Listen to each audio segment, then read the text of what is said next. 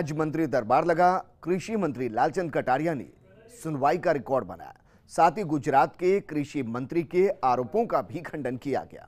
ये रिपोर्ट देखिए। सीमाओं के बंधन से बेपरवाह टिड्डी दल ने गुजरात की ओर कूच क्या किया, सियासत गर्मा गई।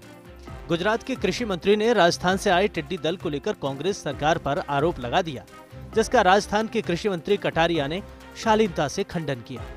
पीसीसी में पत्रकारों से बातचीत में कटारिया ने कहा कि टिड्डी दल पर नियंत्रण लगा पाना आसान काम नहीं है।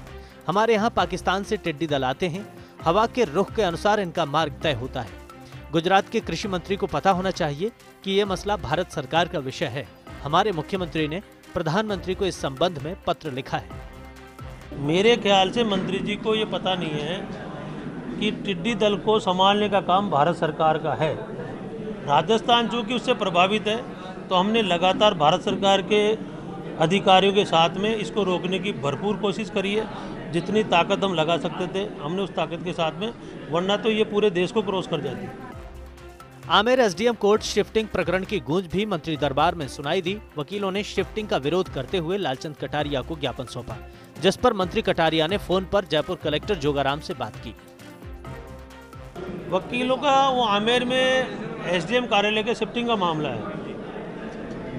कुछ चीज़ व्यवहारिक भी है जो कलेक्टर साहब को मैंने कही है कि भाई पहले वहाँ व्यवस्था कराई जाए, पार्किंग कहाँ रहेगी? क्योंकि आमेर में जहाँ वो शिफ्ट कर रहे हैं, वहीं तो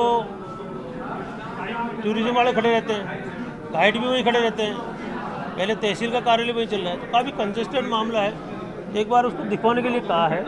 हम लालचंद कटारिया जी से मिलके हमने एसडीओ कोर्ट आमेर के बारे में उनसे परिचर्चा करी, क्योंकि एसडीओ कोर्ट आमेर को, आमेर शिफ्ट करने के आदेश कर दिए गए हैं।